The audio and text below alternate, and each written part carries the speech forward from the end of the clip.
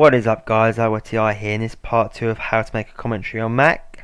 And we have our lovely, lovely gameplay here, I'm just going to put it right on his head. And uh, we have our commentary here, right on Miles' head. And I'm going to be showing you how to edit this. And the software I'm going to be using is Adobe Premiere Pro. The reason being it is the most like Vegas and me having a Windows so long. And basically that's the computer I had when I started doing YouTube commentaries a while ago not on this channel but a while ago. Um, I use Vegas a lot and got very comfortable to it so this is pretty similar to Vegas. Now just go new project okay? Test. We'll just name it test you name it whatever you want. Go you don't edit any of them settings they're fine okay. Uh, yep I want to rename override that. That is fine. Now this is the preset menu okay? For the sake of sakes we are going to make a new preset just you can get it perfect then.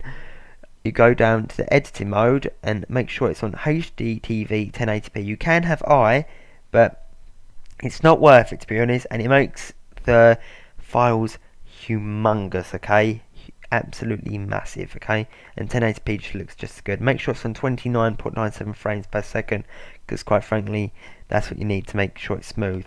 Down here just uh, make the video preview 1280 by 960 and save the preset as test or whatever you want name it YouTube if you want. Now I've already got a preset here because I've done one earlier to make sure it worked. Sequence okay? Let's call this amazing video one. Or not one. Amazing video hell yeah. I'm in Miami bitch. Just throw that in there. Why not? Okay now don't be scared by this software guys, it is not daunting nor is it hard to use. There guys, there's my trial I'm using at the moment. So, basically here is where your clips and tracks will be all lined up and this is where like you can do your basic editing. Um, here is the preview where you'll see the clip and here is where you can do the more advanced editing and here these two boxes are where you get the clips from. So go Macintosh HD down to your user Mine being Alex, of course. God was not an option, so I had to choose Alex instead. Uh, just go desktop.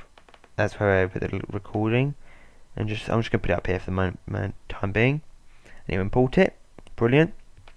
And just drag the live recording in, okay, to video one and audio one. Now, the commentary was only a few seconds long, so I'm going to get a commentary I've done before. So I'm just going to go to my folder that I use um, TV. And I'll, I'll, you know what, guys? I'm gonna do my 90s com because that's one of my favourite coms, and I've done that wrong, haven't I? Well, it's being very handy and not giving me the audio, which is just it's just brilliant to be honest when it does stuff like this.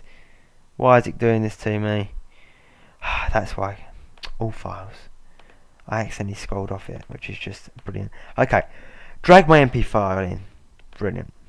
Now, as you can see, we have a lot of empty clips here. So if you right click, okay, and go delete tracks, delete all empty tracks, you can do like video 1, video 2 individually, but for time's sake, delete all empty tracks, okay? This has smushed it up nice and close together. They can now get acquainted. Now, first things first, we want to make sure that this is all okay, which is, looks really nice. Uh, but there's a tiny little black line there. To fix that, you just double click on the image and just drag it out ever so slightly. And now, no black line, and it's full as full can be. Now, our second problem is the like the clip goes on for like nine minutes. The clip doesn't, so we need to trim it. Trim it. You go to the razor tool here, which is C, the shortcut, and you just clip it there you go selection tool V shortcut and backspace to delete. Now that is pretty darn good. Now I want to put a little bit of opacity on this okay guys? Now you don't have not of opacity it's just a bit of a fade. It just makes it look a bit more professional and it just sort of eases the person a lot of people don't use them to be honest but I, I do. So to do opacity you just click the clip go up to opacity do the drop down box and make sure it's 000 and have it at zero opacity percenter. Now just you go this along, say go to three seconds, yeah? And make sure the opacity is 100. That's a very quick fade to be honest, that's just for time's sake. And if I just click, that's 0.13 seconds. I'm very clever, aren't I? I'm very, very clever indeed. Okay, let's just. Because I am actually just a genius. I do actually wonder about myself sometimes. With like how smart someone can get. Okay, four seconds. Make sure the patty's okay. That's when I want it to go to. Right, I've got I've got to redo this, guys, because I've just been so smart. I, I was actually trying to be a smart ass, to be honest. Zero, opacity zero. Edit that to four seconds. Opacity to 99, and we'll go to four seconds. Point one and opacity. You don't. You shouldn't have to do it this way, guys. Just because I mucked it up earlier. And now we should have a nice fade if we play from the beginning. Yep. A nice fade into clip, which is actually very fast. But that's cause purely because I mucked it up earlier, guys. But if you just go from the clip, we'll redo it again a bit later. Actually, we'll redo it now from here. We'll have a nice fade from this section, 100. Okay, make sure we'll just have it 99. We'll have it 100 there. Set a little keyframe and then the end of the clip we'll have it as 0. Lovely. And that should fade off, yep. Fades off nicely. Nothing too sharp. You can do it for the audio, but there is really no point as long as you give yourself a second between each one. Um, yeah, that was just me being stupid at the start, guys, trying to be clever. So just ignore that. Now, to make it just look that little bit more professional, we want to add a watermark. Do that, go Control, Add Track. We just want one video track, no audio tracks, because, you know, we're not adding no audio watermark. So just go to wherever your watermark is saved. Mine would be in my graphics folder. And this one was actually made by Robot, which is an absolute legend for doing it. Drag it in there. Drag it here.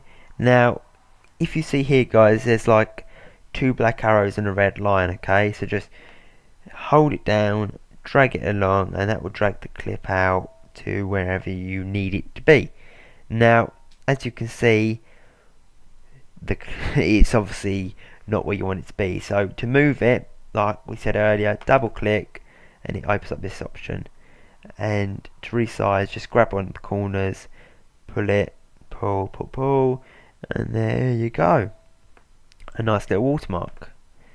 It's looking pretty good, guys, to be honest. It's looking pretty good. And just that would be it. Your commentary will be here, your audio will be there, your watermark will be there, you'll have your fades. You can also do fades for the um, watermark. Just go, I select the watermark, opacity, zero, and then about three seconds we'll have it come to 100 just nice. There we go. It's got a nice gentle fade. Unlike the one I done earlier, because that's just so clever of me. Now that our commentary is ready for rendering or exporting, as they call it in Mac, you want to go up to File, Export, Export Media. Okay. Pretty simple. It just loads because, to be honest, it always loads. Now here we have our Xbox stream. This is our source video and this is what our output will be. Okay.